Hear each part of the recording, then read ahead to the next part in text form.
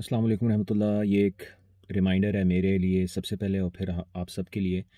वो ये है भाइयों कि, कोई भी चीज़ हमारी लाइफ में आती है जो कि अदर देन द रूटीन हो, यानी कि कोई बीमारी हो जाए, कोई ऐसा काम हो जाए जो आपके डेली रूटीन में नहीं आता।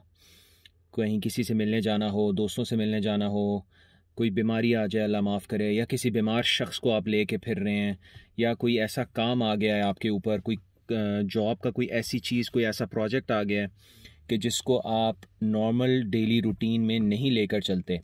तो सबसे पहली चीज़ जो इफ़ेक्ट होती है, भाइयों, वो हमारी नमाज़ क्यों है?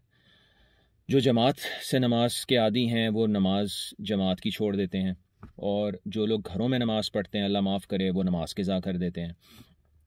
मैंने देखा है, अल्लाह माफ़ करे, कि हम लोग सबसे पहला जो हमारा टारगेट होता है कि जिसको हम स्किप कर करते हैं या जिस, जो हम, हमें लगता है कि यार इसकी खैर है। यानी ये देखी जाएगी, ये हम बाद में खज़ा कर लेंगे, या चलो अगर जमात निकल गई है, घर में पढ़ लेंगे, वो नमाज़ क्यों है? हर, अल्हम्दुलिल्लाह हम लोग पाकिस्तान में हैं, हस्पतालों में मसाजिद हैं अच्छा आपके सोसाइटीज़ में मस्जिदें हैं, हर जगह हम नमाज़ बा जमात पढ़ सकते हैं, मर्द और औरतें घरों में या कहीं पे भी नमाज़ पढ़ सकती हैं। तो बारिश हो जाए तेज़, तब हमारी जमात से नमाज़ रह जाती है। कोई ऐसा काम पड़ गया, कहीं खाने पे जाना है, बहुत छोटे सी लेम सी मंडेन सी चीज़ें होती हैं, छोटी सी, जिनके पीछे हम नमाज़ को छोड़ देते हैं। आइए भाइयों, हम सब मिलकर इरादा करते हैं कि इन अब हम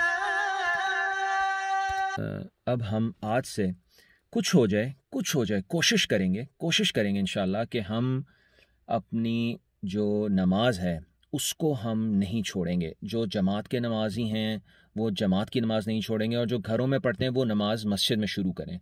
बा जमात नमाज़ मस्जिद में मर्द हजरात पढ़ना शुरू करें और अपनी लाइफ को, अपने डेली स्केजुअल को, अपनी डेली रूटीन को नमाज़ के इर्द गिर्द रिवॉल्व कराएँ। यानी आपका, आपको पता होना चाहिए कि मैं यहाँ से यहाँ ट्रैवल कर रहा हूँ, बाइक पे हूँ, गाड़ी में हूँ, पब्लिक ट्रांसपोर्ट पे हूँ, मैंने अगर यहाँ पहुँचा, मैंने नमाज़ पकड़नी है। और अगर मैं यहाँ से यहाँ गया, मैंने नमाज़ पकड़नी है। आपका पूरा दिन वो इन्हीं नमाज़ों के इर्द गिर्द घूमना चाहिए, ना कि आप नमाज़ को बिल्कुल लास्ट में रखें।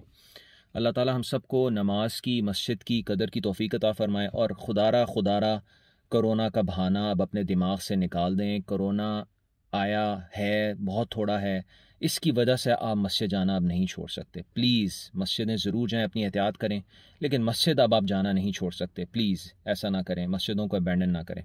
अल्लाह ताला हम सबका हामी होना से